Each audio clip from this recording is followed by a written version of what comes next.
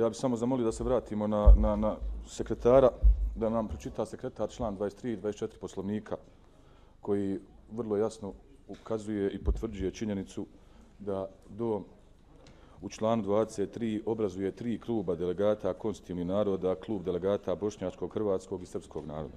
Član 24 vrlo jasno kaže klubovi naroda, nije rekao jedan, dva, nego klubovi naroda obrazuju se kao oblik djelovanja delegata u Domu naroda, pa posebno u pripremama sjednica Doma naroda, utvrđivanju prijedloga dnevnog reda, rješavanje sporova u postupku donošenja akata parlamenta, federacije i Doma naroda. Klubovi naroda imaju predsjednika.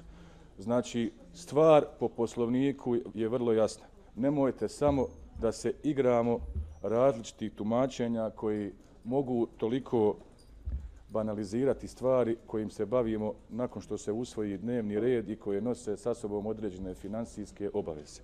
Znači, potpuno je jasno da u ovom momentu mi nemamo pretpostavke da ovaj dom na legitiman način funkcioniše jer je isključen jedan klub naroda u onome što je poslovnički definisano kao njegovo pravo po članu 23 i 24.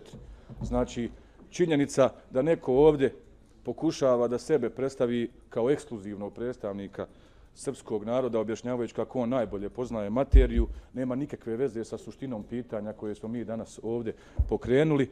Ono što mi tražimo jeste da se ispoštuje poslovnik u skladu sa onim što on unutar sebe piše. Mi smo ga donijeli, odnosno donijelo ga je neko, mi smo ga naslijedili, možemo ga i promijeniti ako postoji volja da se on promijeni. Samo nemojte da izmišljamo nekakva rješenja koja nigdje na svijetu ne postoje, u kojem se podrazumijeva da delegat ima pravo da ne izvršava svoje obaveze tako što se ne pojavljuje na sjednice i ostvaruje političke ciljeve i ambicije, destrukcije procesa funkcionisanja jednog organa.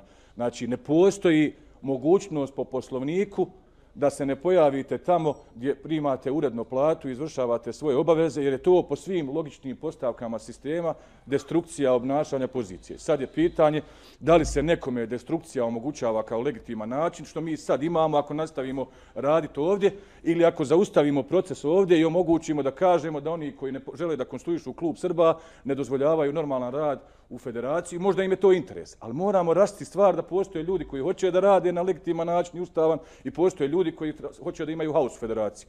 I to su dvije stvari koje danas moramo razjasniti. Samo nemojte da mi, čitajući poslovnik, postajemo afirmativna strana da objasnimo kako je legitimno se ne pojavljivati, a primat platu. Nije legitimno, ljudi to. To je zlupotreba položaja, nesavjesno funkcionisanje mandata, neustavno. Položili smo zakletvu ovdje to da se neko neopravdano ne pojavi, a sjedi ovdje, nemojte mi da smo mi slučajno inicijativu pokrenuli na sjednici. Pokrenuli smo je zato da vidimo da su ljudi tu.